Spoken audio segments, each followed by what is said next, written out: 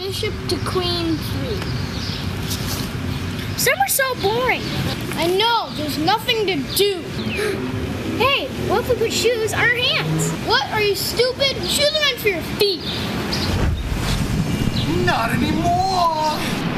Dr. Shoehand! That's right, boy number one and boy number two. It's me. Previously unknown famous rapper, Dr. Shoehands. And I'm here to tell you all about kicking new technology. Shoehands! How do they work? I'll show you. First, you take the shoes, then you put them on your hands. It's better than owning a band. It's shoes on your hands. Now you get me.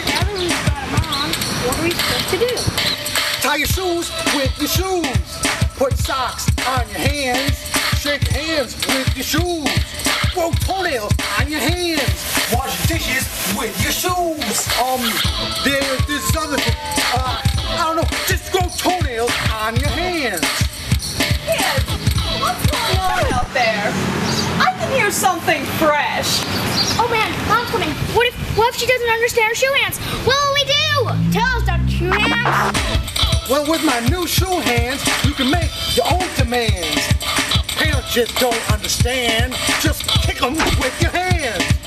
Oh, come on, guys, get dressed. The big game's in a half hour.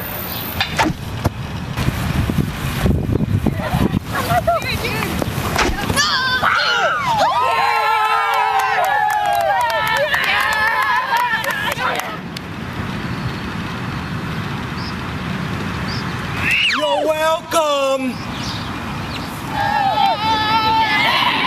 Shoe your legs.